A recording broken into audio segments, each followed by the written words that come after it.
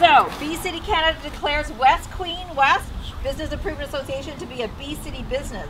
In recognizing the important role for businesses and nonprofit organizations to help protect pollinators and their habitats and to inspire others. Awesome. West Queen West BIA has committed to fulfill the requirements of the Bee City Business Program as pledged by Rob Sysak, Executive Director, West Queen West, on November 4th, 2017. Awesome. Congratulations. Thank you. Awesome. Thank you. Next. Bravo, bravo.